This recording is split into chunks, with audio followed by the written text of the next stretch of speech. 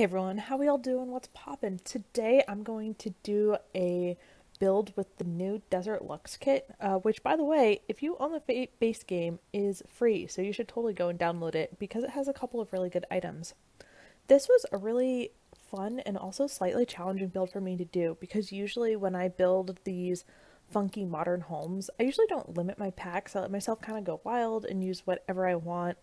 And for this build, I decided to challenge myself a little bit and just use the base game and the Desert Luxe kit, both so that I could force myself to use the kit as much as possible, and also because I wanted it to be downloadable for everybody, regardless of if they had other packs. And I had a really great time building this. It was fun to stretch myself a little bit with a build and do something that is a little bit different, even if I do build modern builds pretty regularly. And I had so much fun. Um, one of the other things that I did with this build to make it a little more interesting is instead of just doing a basic starter home, I actually built a home for a whole family. So this has this build actually sleeps four sims. It has a parents' bedroom and then it has a little kid room. And yeah, I thought that was really fun. Um, I use a reference picture for this like I do for a lot of my modern builds. Um, and there's a lot of things usually in reference photos that don't translate super well. Like they had this cool little fenced in area that I kind of replicated, but it didn't look quite like the photo. And then they also had a nice little fancy garage thing, which obviously we don't have garages in The Sims, we don't have real cars. So that was something that I had to kind of work around and play with a little bit to try to get things to look how I wanted them so they looked good in The Sims, but also I, I sometimes get a little stuck on my reference pictures and I'm like, oh, I want it to look just like the reference picture. It has to be the same, and obviously it, it doesn't have to be the same. Um, because that's not how things work. But I, there's so many items in the new kit that I really like. I think my favorite two are probably the open doors, and then I also really like the window, which I actually end up swapping in a little bit later. And I guess I really like this little um, overhang thing too, because before you could kind of create one manually by just using that base game like smooth paver, smooth keeper, whatever fence, and then you can make a lattice with it and then just cross out all of the little floor that populates inside of your fence. Um, that's really annoying, and it's nice that we have one now just in the game. For the inside vibes, I wanted to go for like kind of like a dark theme. Um, so I had a lot of black. I tried to keep it very minimal because the vibe of the Desert Luxe kit is pretty minimal and I wanted to kind of inspire that. But then also I decided to use like a little bit of color. So I have kind of a blue living room to brighten things up a little bit.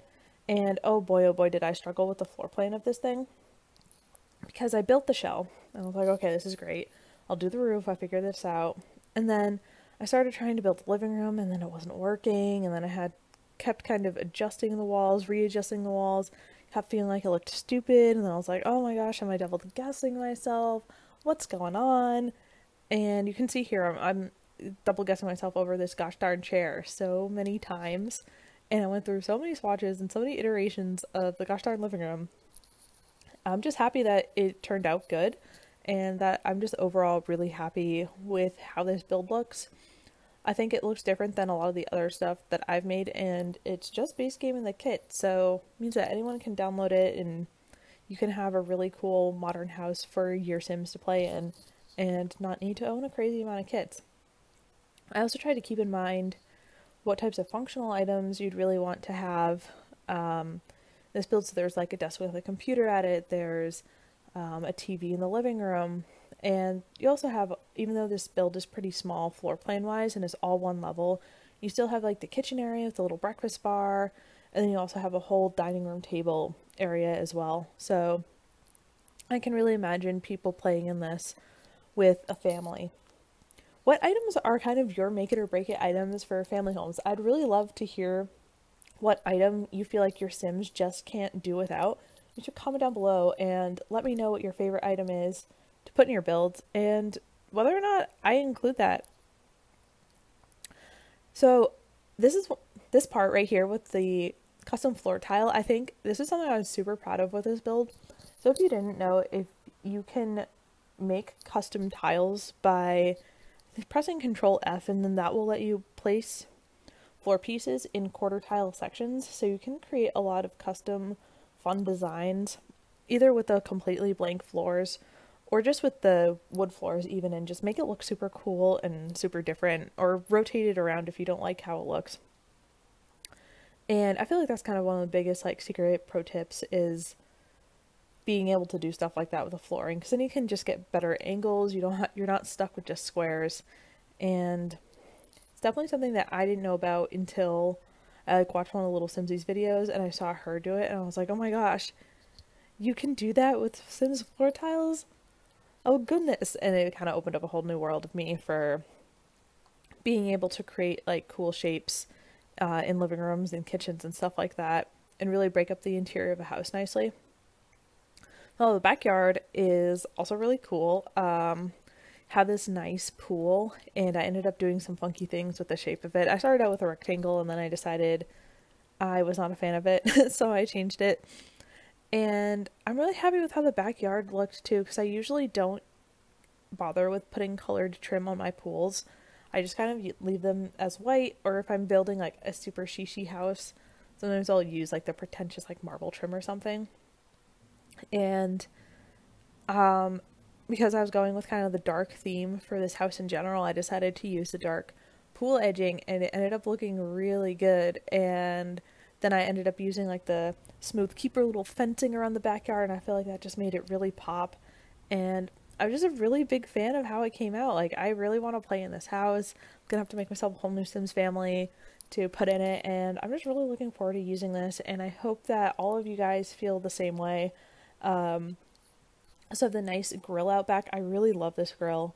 It's really pretty. I love that it has a little mini fridge attached to it. Um, obviously it's just still just a grill in terms of being able to use it, but the mini fridge is such a fun detail.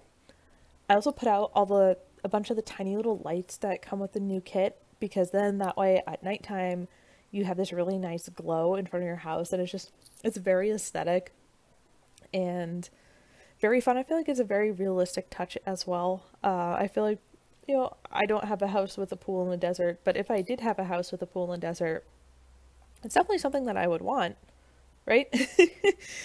um, I also made this nice, I put the little pergola out back so then kind of have two distinct spaces of having the pool space with like the lounge chairs, um, and then having the kind of the couch space um, with the grill and stuff. And I felt like that was really nice. I was bummed that we didn't have like a little umbrella to in the base game or in the new kit that we could use to cover up the loungers, but eh, you know, you don't win win them all. so now going back inside, um, now that I have everything laid down, I like to go back and paint everything and then kind of put in some clutter items um, and just a little bit more decor. I decided to go with a nice like kind of light greeny blue color for most of the living space just to kind of brighten it up from the otherwise super neutral color tone and I wanted it to go with the blue couch but also not be the same exact color because that would just look bad. And then for the kitchen, I wanted to break things up a little bit, so I brought some bricks in and I felt like that added a little bit more texture to the space while still keeping it pretty neutral, like color wise. So somehow deleted my rug. I don't know how I managed to do that, but it was very confusing when I was building and suddenly the rug was just gone. I was like, excuse me? What's going on? Um, I also try I tried to hang up a bunch of cute paintings. Um, parents' room was a bit of a struggle just because it was kind of an interesting shape and I just I didn't really I wasn't vibing with any of the end tables. I was trying to figure out what I wanted to do with it. Didn't want to paint it the same color as the rest of the house, but then I was kind of stuck on like the blue greeny color. Um, that was definitely the toughest room to do. Kids room was also pretty challenging because I kind of committed to the pink theme with the beds, and then I wasn't sure if I was vibing with the bright pink wallpaper, but then it's like, oh, the bright pink wallpaper doesn't really go with the rest of the house, but it does go with the kids room. I feel like with the kids room you can be a little more crazy with the colors so I don't know. I'm kind of undecided whether or not I like how that room turned out. I'd love to hear what you guys think about the kids' room. Does it go with the house or was it a major flop? Uh, definitely let me know. And yeah, just putting out some more functional items. putting out the rug. I feel like my favorite building tip with rugs is sizing them up up and down. It's so helpful when the rug is just slightly is the wrong size and you're like, "Oh, I like this rug. I just wish it a little bigger, a little bit smaller." And just using the bracket keys, you can size objects up and down, which is just it's so useful. Um, I think that's probably the build trick that I use half the time or most of the time. One weird thing, you can see it with the window right now, is that the window actually glitches with the curtains that come with the pack. And I found that to be really weird. I was like, wouldn't they have tested this so that way the curtains and the window that came with the same exact kit work together and don't clip? But also, it's EA. I feel like they just generally don't test things, so the sake of sounding really judgmental, I'm I'm feeling a little bit judgmental. uh, the last couple bits of this was just doing some landscaping. Um, I feel like desert landscaping. I always have so much fun with it because I live not in a desert, so it's kind of fun to play around with stuff that I definitely don't have at my house. Um, and I like to try to mimic the surrounding landscaping um, of the world, so that way the lot kind of blends in nicely. By the way, if you want to download this lot, it is on my gallery. Uh, I think it's called Modern Family Desert House or something like that. And again, I've said this a couple times, but it only has the base game in the Desert Luxe kit, so everyone should be able to download it. Um, yeah.